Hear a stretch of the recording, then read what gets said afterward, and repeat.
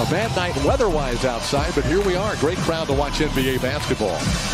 Must be a lot of Ubers out there, David, waiting to take people home. that should be something to watch. Line up tonight. McGee, JaVale McGee has been their starting center. Powell slides in there tonight. Dinwiddie a three-point shot. That's good. To the night for Dallas. Working one-on-one against Wagner. He fakes now, fires, and banks it in. They're scoring. They can score in the half court. Three of three here to start. Doncic a three-pointer. Got it. He's just been, we're, we're tied at 10-10. Doncic backing in against Suggs. He just muscles it in against Jalen Suggs.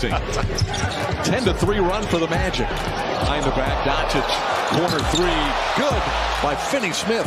Just a terrific pass. He draws the Doncic assignment. Help comes from Bamba, and Bamba reached it. Doncic rips through a three. His takeoff was a little oh, premature, though. No, but he was way up there. Kleber for three. Maxi Kleber. And now they're running a second guy at him. Did somebody else make yep. a play? Suggs hits the deck. No call. Three-point shot is good by Finney Smith. Has that assignment. Doncic into two defenders. Dinwiddie Maxi Kleber for three. Jalen Suggs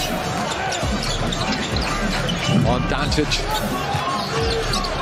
Baseline to the spin move on Doncic, and he puts it in. That's just a four-point Dallas lead, 65-61.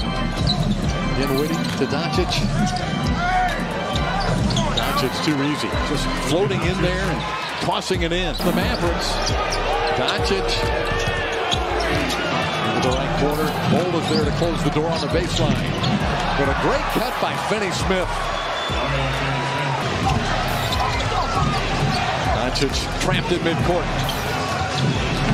Kleber on the drive and spins it in with just two seconds left. Still work to do. Inbound to Kleber.